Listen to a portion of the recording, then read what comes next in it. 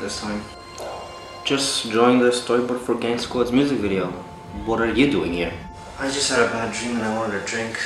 Could you fill mine while you're at it? Yeah, sure.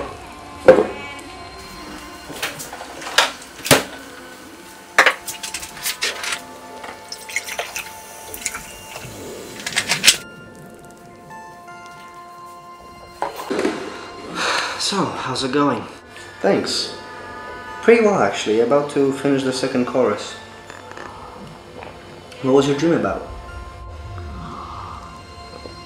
It was weird. I was in this pitch black room. I think it was empty. There were no doors or windows.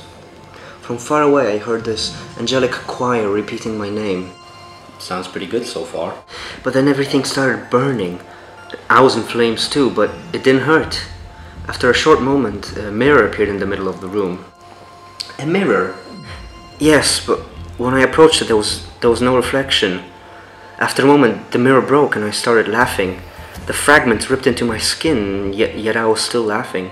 That's a, that's a weird dream indeed.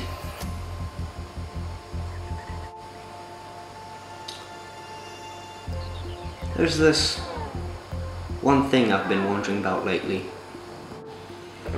Which is, what's it like to be a schizophrenic? Yeah, me too. That's strange.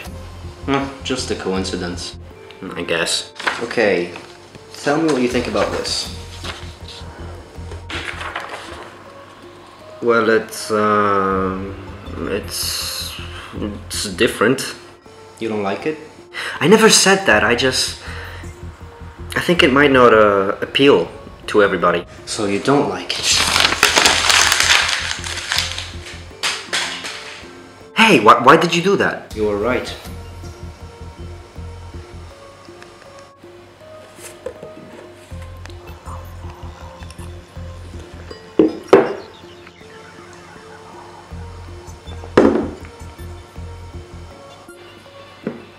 Anyway, coming back to the whole schizophrenia thing, do you think the patient is two different people or do you think he's the same person and can kind of see himself simultaneously?